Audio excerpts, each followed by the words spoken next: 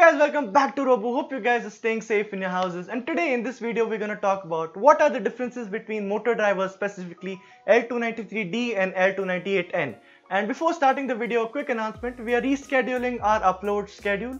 Uh, we are uh, posting every Tuesday and Wednesday on our YouTube channel and every Thursday or Friday we'll be posting on our Instagram page. If you haven't followed our Instagram account, you can follow it, the handle is right here and uh, we're gonna make videos on like new releases or like few short videos and everything of that sort for Instagram content. You can go follow it. We're gonna make it very informative and very fun. Uh, so yeah, go follow it if you haven't already and let's get back to this video.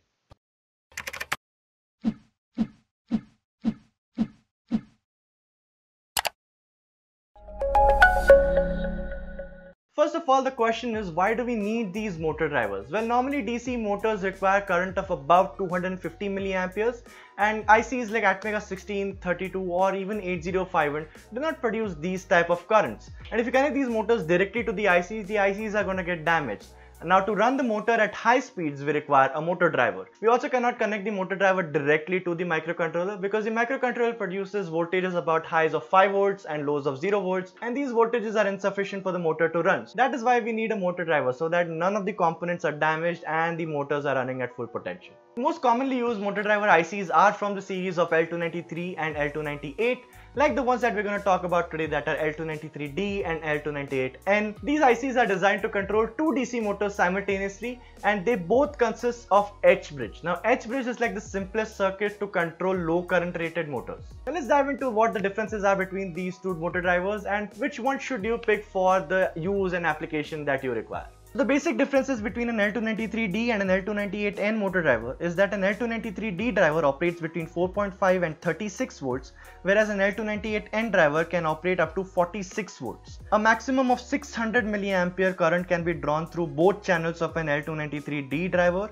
whereas an L298N driver can draw up to 2 amperes from both channels. L293 is a quadruple motor driver which uses half H drivers while the L298 uses dual full H drivers. The EMF are provided internally internally in L293D but must be provided externally in an L298. The L293D is suitable for small current drawing motors like BO motor or DC gear motors up to 500 RPM and small stepper motors which take less than up to 600 mA at their highest torque rating.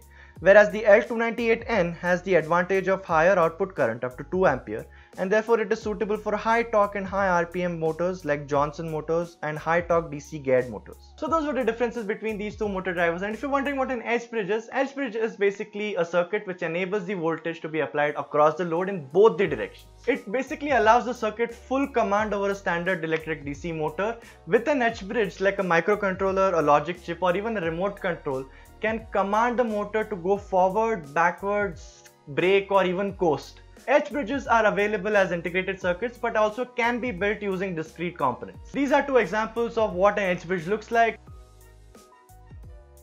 If you want to know more about H bridges like in detail, you can go check out our blog. The link is down in the description. You can check it out. And that's it. Those are the differences between these two motor drivers and why we use them. If you like this content, give it a like and share it with your friends. And also don't forget to follow us on Instagram. We're going to come up with a lot more Instagram content as well. Also subscribe if you're new here. And that's it. Thank you so much for watching. We'll see you next time.